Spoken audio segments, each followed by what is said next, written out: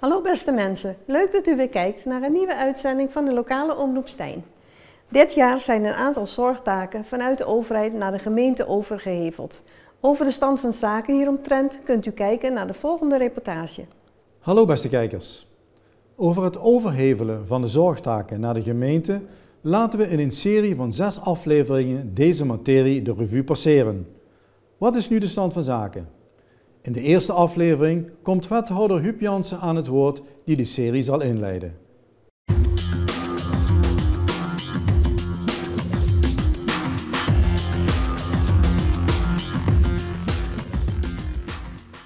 Hallo beste kijkers. Eind vorig jaar is in een aantal uitzendingen belicht wat er op de gemeente afkomt met de overheveling van de zorgtaken naar de gemeente per 2015.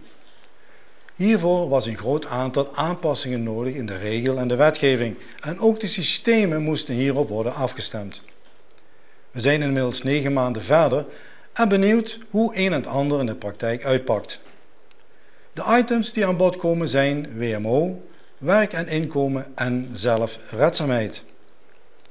Voor de items zijn deskundigen uitgenodigd die uitleg geven over de stand zoals die op dit moment is. 2015 staat in het teken van de dialoog, het gesprek aangaan met de klant, dus in dit geval de burger. Wat verwacht de burger van de gemeente en wat verwacht de gemeente van de burger?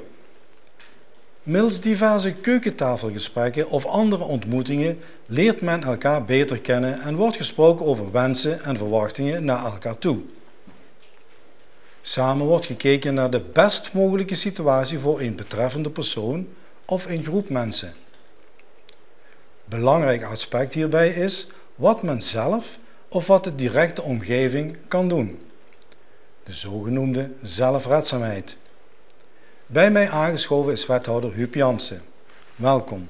Dank u wel. Huub, kunt u vertellen wat, uh, wat eigenlijk veranderd is sinds het begin van 2015 met betrekking tot de WMO?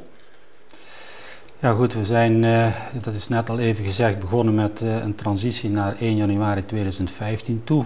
Um, dan uh, moet er van alles geregeld worden. Het is net ook al even de revue gepasseerd. Er moeten regels aangepast worden. We moeten de eigen organisatie op orde brengen. Er moeten allerlei contracten gesloten worden, enzovoort, enzovoort. En ja, we hebben per 1 januari, de vlag ging in top, gezegd de gemeente Stijn is transitieproof. Maar dan begin je inderdaad aan die proef om het maar even in het Nederlands te zeggen. Mhm. En dan blijkt er in de praktijk toch een hele hoop dingen anders te lopen of anders geregeld te zijn of anders uit te pakken dan dat je aanvankelijk gedacht hebt bij het inregelen daarvan, bij het mhm. kwartier maken. Dat zijn dus toch nog een aantal losse eindjes die we eigenlijk in de loop van 2015 nog uh, tegengekomen zijn en waar we met de ambtelijke organisatie in de gemeente Stijn, maar ook met de zorgaanbieders, eigenlijk alle ketenpartners die bij de zorg betrokken zijn, alles op haren en snaren hebben moeten zetten om de zaken goed voor elkaar te krijgen en te voorkomen in elk geval dat klanten de dupe worden, inwoners de dupe worden ja, van allerlei hiaten die nog in de regelgeving of in de uitvoering uh, uh, naar boven zijn gekomen. Nou, ik denk dat we daar wonderwel in geslaagd zijn, dat in elk geval in deze gemeente voorkomen is dat mensen ergens tussen de wal en het schip geraakt zijn.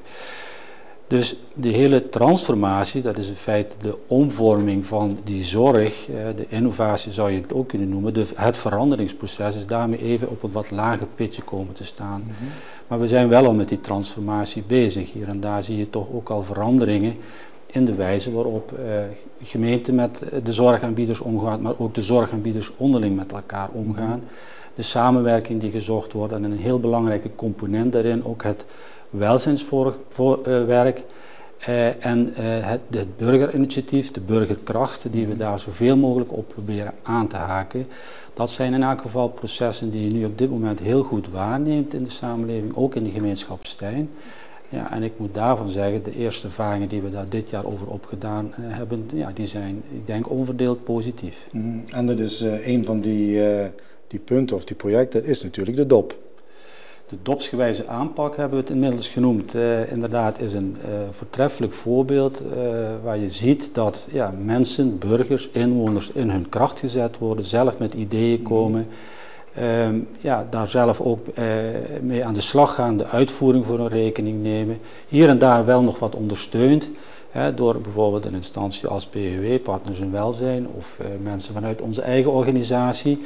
Maar je ziet toch dat het bruist, dat er de zaken in beweging komen, dat mensen elkaar opzoeken, met elkaar in gesprek komen en allerlei zaken voor elkaar weten te krijgen. En dat is eigenlijk eh, ja, ja, de kracht waar we naar op zoek zijn, die zelfredzaamheid in die maatschappij en de cohesie, de samenhang ja, en, en eh, die we daarin zoeken. Dus dat loopt hebben goed. Jullie, hebben jullie daar veel moeite voor moeten doen om de mensen zo te, bij, te, te benaderen of te bereiken?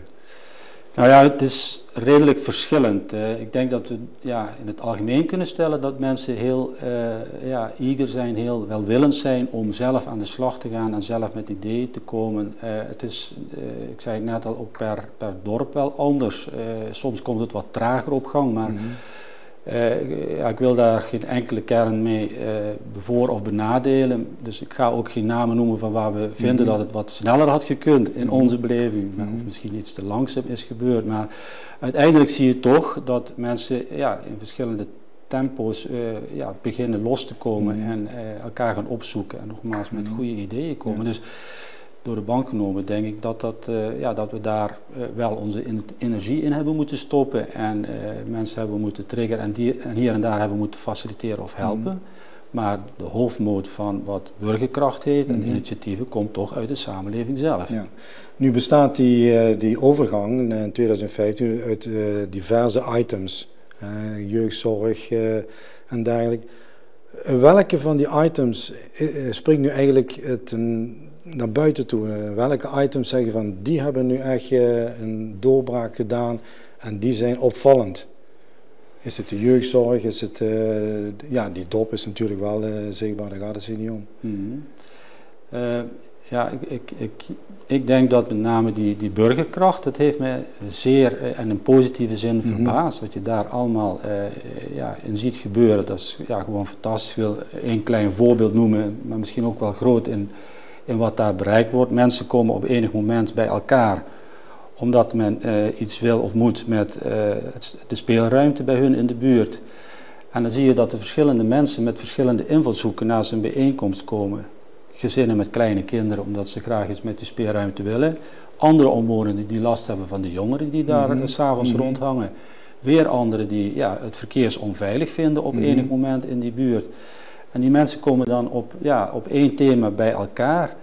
Uh, er wordt aan het begin wat, ja, wat, wat kritiek geuit op uh, mm -hmm. wat er mhm. allemaal mis is in die omgeving. En uiteindelijk zie je on, een ontwikkeling in positieve zin, waar mensen elkaar inderdaad gaan helpen de problemen gezamenlijk op te lossen. En ook en dat, durven aan te spreken. En elkaar durven aan te spreken op allerlei zaken die anders kunnen of beter mm -hmm. kunnen. En ja, dat zijn denk ik, is een voorbeeld van een, ja, een proces wat positief in deze uh, gemeenschap uh, plaatsvindt. Mm -hmm. En dat is maar een klein voorbeeld of een voorbeeld, zo zijn er tal van voorbeelden te noemen. Mm -hmm. En dat is het positieve, denk ik, wat we inderdaad ja, aan die burgerkracht en het zelfinitiatief enzovoort uh, op dit moment kunnen ontwaren in deze gemeenschap.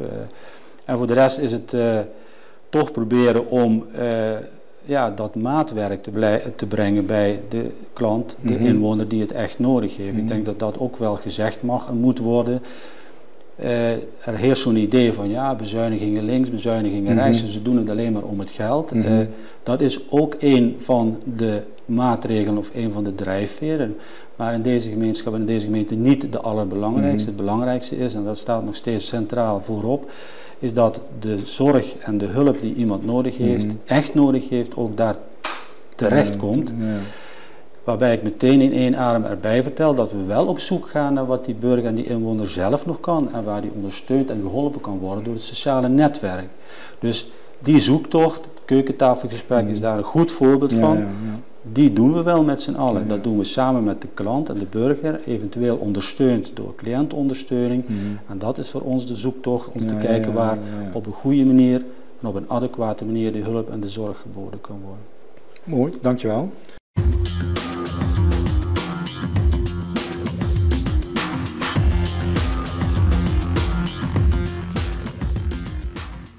In de volgende aflevering zal Petra Kreuwels, WMO-consulent, het een en ander over de WMO toelichten.